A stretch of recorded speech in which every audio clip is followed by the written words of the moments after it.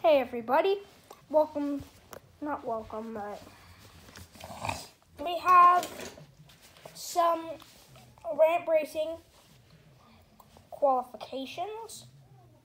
So just tell me which row you want and what number of rows. So you could pick row two, number seven. So second row, one, hmm, four, five, six, seven. So basically you'd get that one. So uh, you have a maximum of one car. Most of these will not get used. But just come on, keep on commenting up. And um, yeah, so just making sure you look.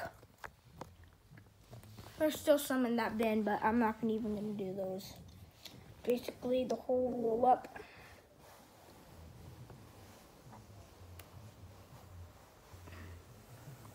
There you basically go. But signups will be starting today and will be closed in three hours, I think. Bye.